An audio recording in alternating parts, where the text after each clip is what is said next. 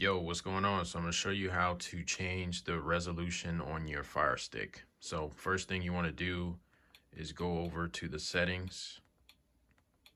Right here should be the last one. And once you get in the settings, you want to go to display and sounds. So, and then you want to go down to display, click on display, you can, right now, my TV, I have it set up where it will auto adjust to whatever the resolution of my TV is at. And if you don't want it to auto adjust, you can also go in here and change the settings. So I have 720, 1080, and then also auto. So if you pick auto, it will automatically adjust to the resolution on your TV.